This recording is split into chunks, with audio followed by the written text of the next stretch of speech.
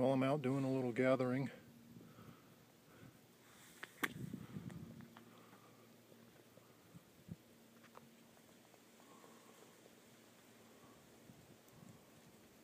These oak trees have provided a ample supply of acorns. Beautiful, just gorgeous, all over the road. And off in the distance, these plants right here, and a lot of these green leafed plants right here that have the the red red bark. This is called sourberry. And these plants are beautiful for actually choke cherry. This particular species is choke cherry, not sourberry. But it's beautiful for making baskets. Some more right here. More of it right here. And it has a kind of a pungent smell when you cut them open. Distinct to this species only. It's, it's just phenomenal. Look at all the colors, all the fall colors. All of those are choke cherry plants. All down the side of the road here and across the road. It's my bag. I'm going to have to weigh that and see how much that uh, weighs. But even across the street here, more acorns. just, just, these trees just kick out an ample supply of acorns. Phenomenal. Anyhow, I'm just uh, showing you what I'm out doing. There's even manzanita and manzanita berries. Edible. Very edible.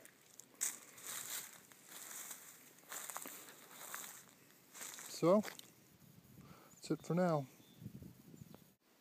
Uh, this is where I get my choke cherry.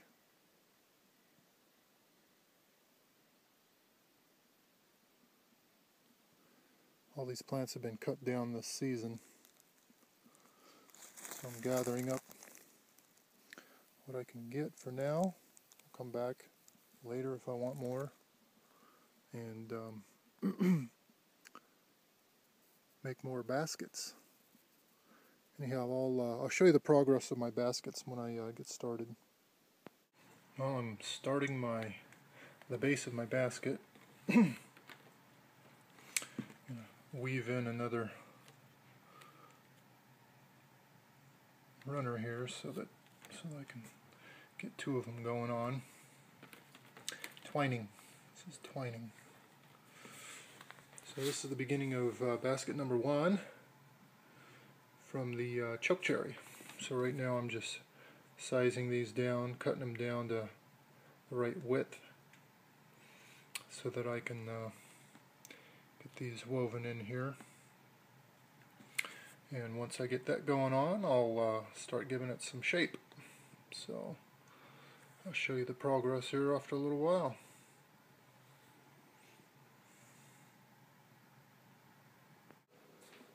Alright, and this is about 10 minutes worth of work, 15 minutes worth of work. the bottom looks like.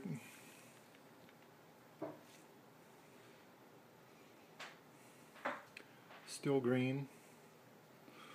I was taught a particular technique that um, that is used on green branches so that the when the branches shrink this doesn't get too loose and fall apart. So I've been using this particular uh, style pretty much ever since I started. So here's the progress so far. Alright, well there's the basket, it's coming along. Just weaving the runners in and out.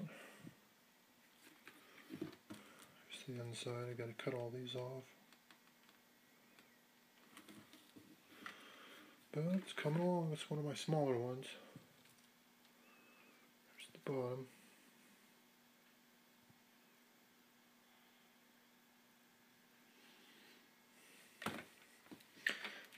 This thing, man, this thing's super, super strong, super durable. That's what you want. Durability in these things. You don't want this thing to break on you. So I cut everything to length. So that's how tall it's going to be. Everything is said and done.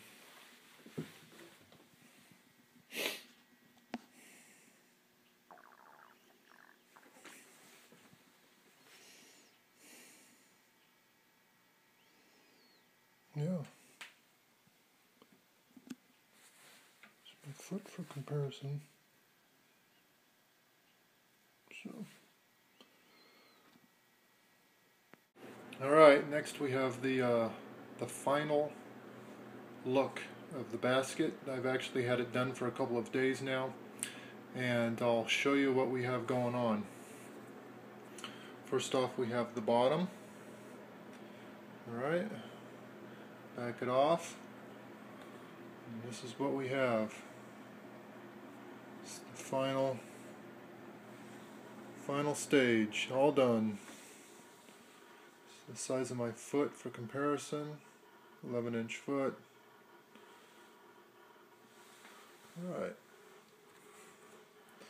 So I have some runners woven in and out that are of the uh, the inside color. Of course this is the bark and the outside color. This is the inside color. And then this is how I did my top in a coil technique of course it's real crude it's not a nice coil technique like the coil baskets that you see, but it's the same process going around and around. And inside, if you can see inside there, I have another stick that I've split in half and shaped at the right width and I have that going all the way around the circumference of the basket. And then I have it tied off right here although it started stretching out on me a little bit but that's okay. So that's that's the end of it right there. And the beginning the end here in the beginning there. So so yeah so this is the inside of all those all those runners that were in there cut off and now this is functional. It's not to be put on the shelf and looked at for the rest of its life or your life or whatever. It's to be it's to be used. Um, I could always make a, uh, tumpline or um, some leather strips so that I could actually make it into a bas uh, backpack or, or whatnot. But um, yeah, this is actually a functional basket. This is not to be put on the shelf It's to be used. And that's what I'm going to do. I'm going to use it. But that's the final final stage, the final look. Glad you guys have uh, come along to see what's going on and followed my videos from time to time. Thank you for my new subscribers. And I'll come up with something new for you guys to check out. Alright?